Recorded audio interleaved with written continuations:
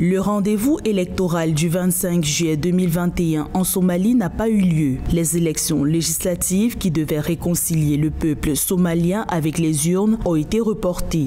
La raison évoquée est celle de l'impréparation des États fédérés. Les régions fédérales n'étaient pas en mesure de soumettre les listes de candidats à temps ni de former les comités d'agents électoraux locaux, ont indiqué des sources gouvernementales.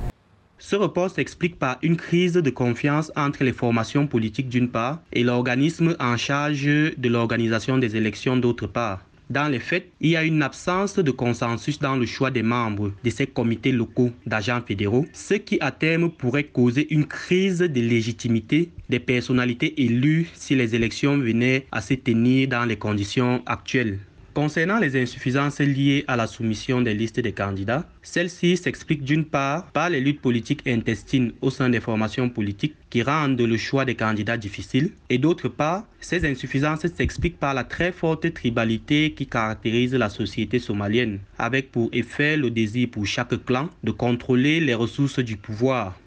Le report des élections législatives replonge la Somalie dans l'impasse politique. Au-delà des insuffisances logistiques, c'est aussi l'insécurité consécutive aux menaces du groupe terroriste Al-Shabaab qui ont compromis le scrutin. Les terroristes ont mis en garde les électeurs à participer aux législatives au risque de représailles.